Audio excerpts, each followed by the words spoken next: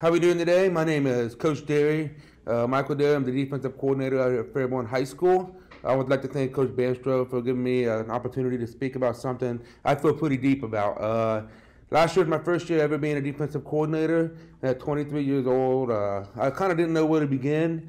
Uh, I credit a lot of it to my mentor, Coach Joel Dirge. Nick Bandstra helped me out a lot, and I'm just happy to be able to talk about some of the stuff that I did last year and how it was really productive for me. Uh, my email and uh, Twitter handle is below next to me if you want to jot that down. Feel free to follow me or email me if you have any questions. Um, I have no problem helping you out with my doc- docs. I have a bunch of Google Docs for you guys. And uh, yeah, I can't wait to get started. So, uh, first off, uh, Saturday. Um, first thing I want to go over is I made this defensive uh, checklist, something my mentor did, Joel Dirge and uh, something I kind of made it work for me. But Saturday, you know, I have opponent scout, label formation, all these plays, second and third long stuff that I did for myself, and I made one for all my defensive coaches, stuff that um, what we're going to label on uh, which huddle, all that good stuff, and what we're going to fill out for opponent breakdown. Um, I draw the run plays, perimeter plays, all that. And if you want a copy of this, I'm more than welcome to give this to you. Um, it had basically all my checklist stuff, what I need to do from starting on Saturday through Friday. That's to me is the week, football week, the fiscal week is what I call it. So, what else I do on Saturday? I have a 24-hour rule. Um, for when the game ends, for when the game, for the next week, I wait 24 hours before I even think about game planning. Now, I come in early or I wake up early, I watch the game on my laptop. I'll take brief notes of the previous game. Um, I really try not to grade. There's too much emotion and I usually try to do my position gradings on Sunday and Monday, and I just really like talking to my kids about it. Uh, I do no game plan, and again, too much emotion. You know, if we had a really tough loss, and the next day I'm probably going to be a little disgruntled, and I'm not engaged. Um, I watch film with my unit. Um, we always try to break off into as smallest groups as we possibly can, and whatever the head coach needs you to do. Whether I go to the JV game, I help out with J, uh, lifting whatever the head coach needs, I do. And uh, I tell my coaches and myself, I fill out all my huddle callings by 6 p.m. And I watch games, but I just do it to get a feel for them. And Saturday, I always tell my coaches, including myself, enjoy your time with loved ones. It's a great time to recalibrate and refocus. Uh, Sunday, we have a staff meeting, and all important docs are filled out as, by us early in the morning, right before a meeting. We usually come in 1 to 4. It's not normal for me to come in anywhere from 7 in the morning to 9 based on how much stuff I need to do. Um, some of these, this isn't all of them, but this is very vague about what we do. Um, I have my situational sheets, which you have a two minute sheet, a third down overview, which my third down overview would be like what personnel they are in and all third down scenarios, how they do against a three man rush, four man rush with man, all that good stuff. Um, again, I have a bunch of docs, you know, a four minute sheet. Um, that way I can break it off out of my tendencies when I do my reports. Um, I have a red zone overview, trick play sheet, a two minute sheet. Um, then I get to my personnel sheet, and here's my personnel summary sheet. Um, basically, break down each the top three personnels and what they like to do out of field zone, down in distance, um, are they under center, pistol, shotgun, and uh, run plays, pass type, and we really try to get a good feel. And I it takes after I do the huddle, it takes 20 minutes to fill out, and it's good to have. You know, the next day when we review film and with all the coaches. So, um, what we do on Sunday as a staff is. Uh, we try to do a really good job of watching the most recent game a couple of times. Um, really kind of get a hammer what they did last week and what they did well. And I usually try to get time for one more game. And then we decide what they like to do. Are they a gap scheme, zone scheme? Are they RPO based? Are they just trying to equate numbers in the run game? Um, are they a wing T team? Are they jet team, buck sweep? Uh, so on and so forth. And then we uh, plan to take away their top three run pass plays. I mean, that's pretty obvious. The, the one thing I think we really get caught up in is how we take the top plays away.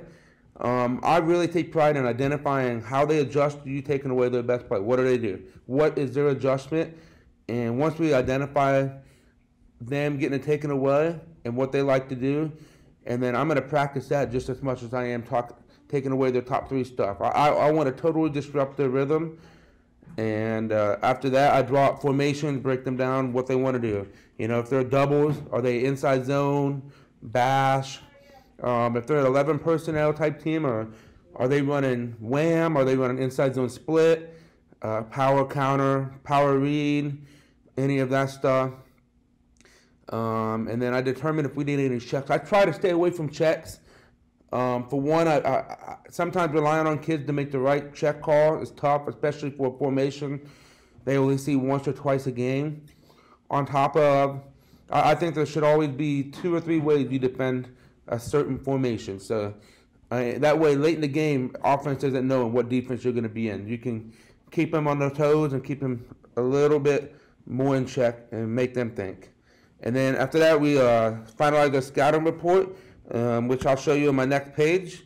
This is what we show the kids on Monday. And this is something that I I worked on this year. Uh, Coach Bandstra drew up a really beautiful uh, uh, scouting report for special teams, and I did a lot of the same stuff he did. You know, I have a basic scouting report. This is something that we're going to do on third down and fourth down this year. It's called clutch. Um, anytime they get a turnover, we're going to say we got one.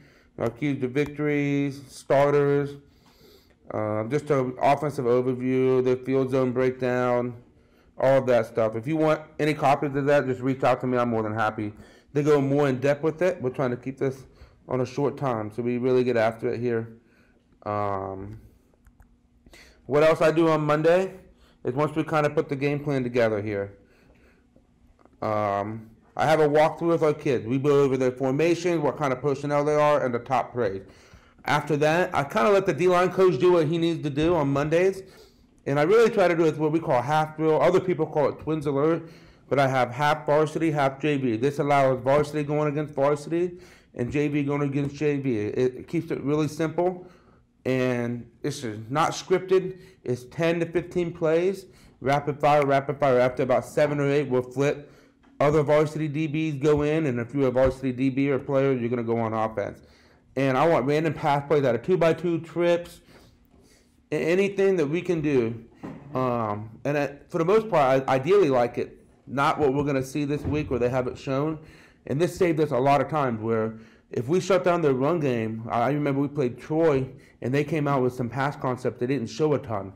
And our kids didn't react poorly because they've seen every concept a million times. And that's because we did that on Monday and randomly throughout the week. We just throw in an extra play.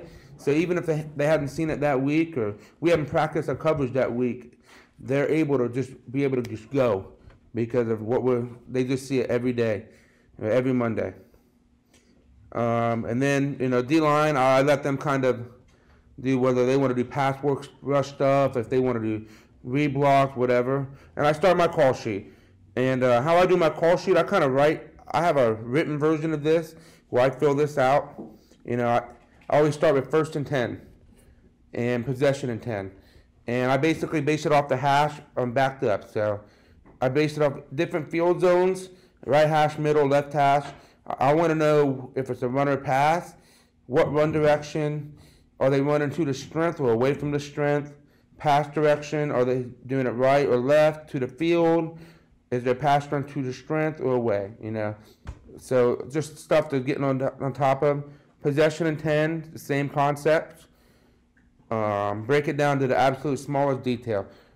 And a lot of people like taking statistics and formulate their call sheet, and I'm I'm 100% for it. This allows me to keep me a little bit grounded and not making an emotion. But at the end of the day, football is an emotional sport, and you, sometimes your emotions are right, but this gives you a really good statistics on where the ball is going to go, so you never put yourself in a horrible situation. Um, on Tuesday, we set our books for the day. Um, I make sure they're ready, usually by 12 o'clock with the scripts. Um, here's a set of scripts that I do. Um, on Tuesday, I really like to get after it here. Um, Tuesdays usually are day of full contact, full speed. So I'm going to do third and short on front seven or inside run. We're going to get after it a little bit. Um, all of the third and short plays, and occasionally the fourth and one and fourth and medium. Um, I want them to know. I, I try to do a breakdown by down and distance. This is what you're going to see on third and short. They rep it one, two, three, several times. Anything three yards or less. Um, we get the perimeter drills. We do first and ten, second and longs. First, same thing for team. So that's what we do on Monday or uh, Tuesday. On top of, I like to continue my uh, call sheet. And usually after practice, I like getting with my DB coach and outside backers, and I ask them to follow. How do we line up today? Um, do our kids understand what we were doing? Do they understand the game plan? Do we need to exclude or include a coverage? Um, are we struggling to pick up something?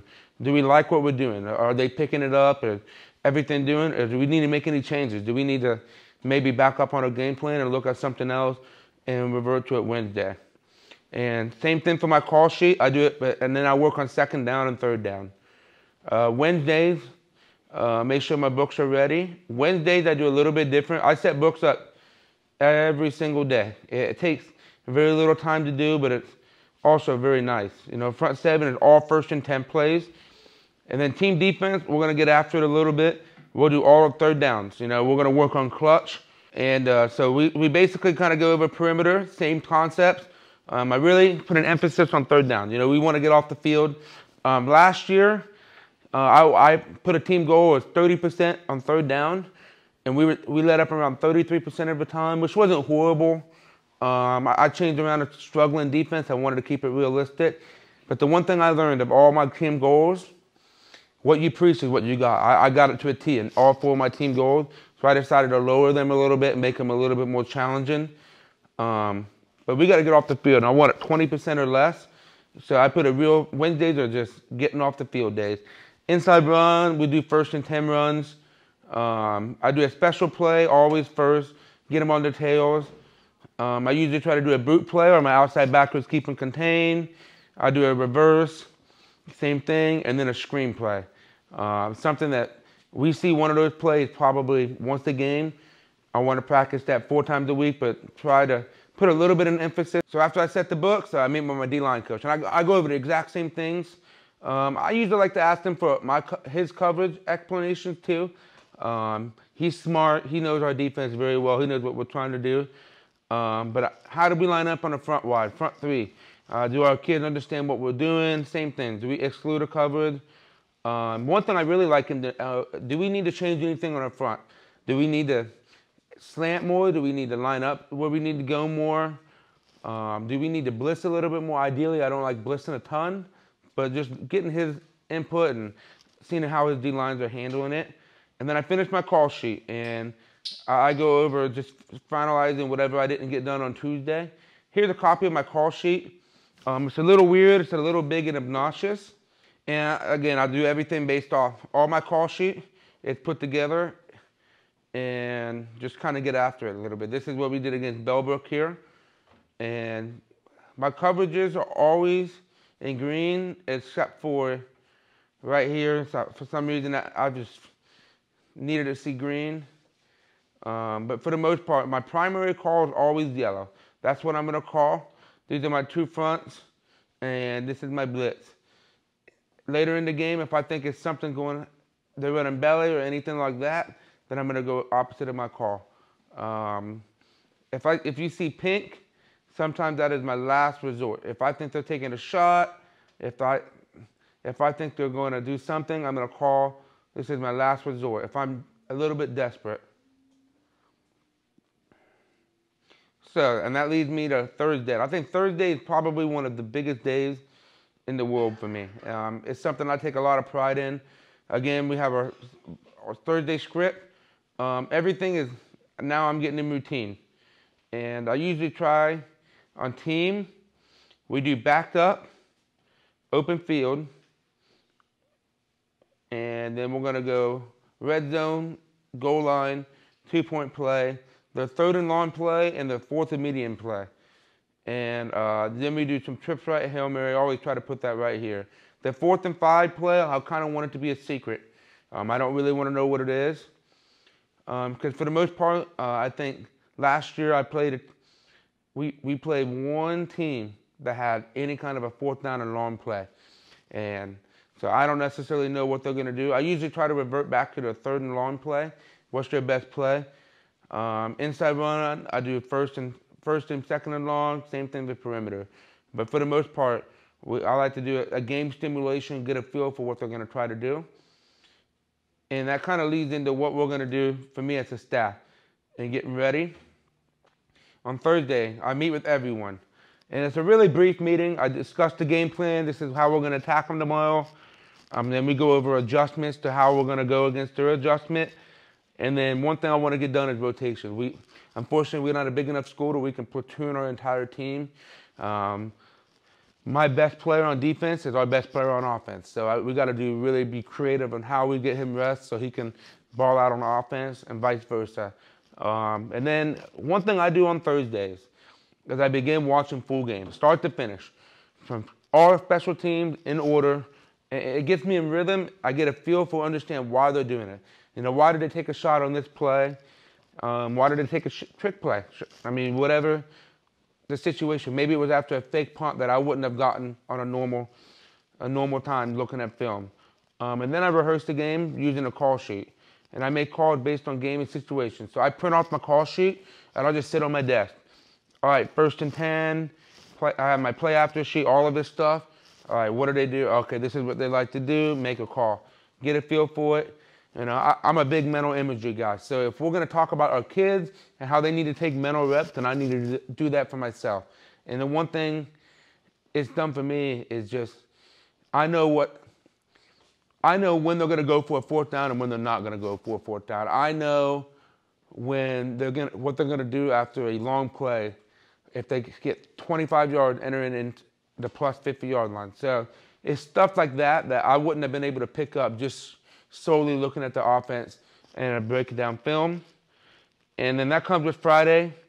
Um, Friday all day, I continue to watch full games. Last year we played Troy, week eight.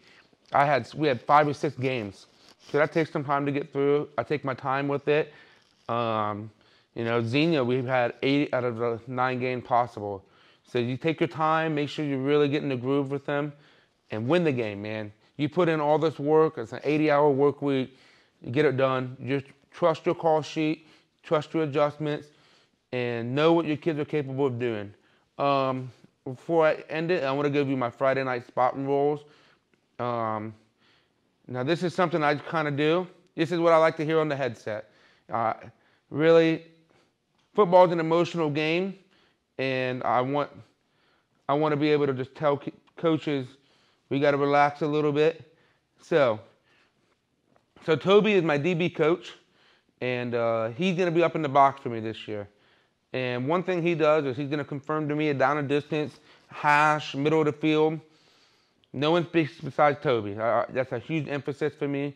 Toby's going to tell me the personnel, and he, he'll suggest your coverage. Uh, he's been coaching a lot longer than I have, a lot of great head coaching experience, great coordinator experience. I'm going to revert to his judgment, and I want to hear his uh, suggestion. And then I'm going to call the coverage, and then I'm going to talk to uh, Spain and Smith, who are my outside linebackers and uh, D-line coach. And I'm going to talk front seven, what stunt. Um, that's going to be very brief. I'm, i might not even talk to him. Um, if I want their suggestion, then I'll say, all right, everyone's silent. And what that means, is cue for me saying, all right, let me think. I'm going to make my call. And then do their assigned spotter roles, repeat.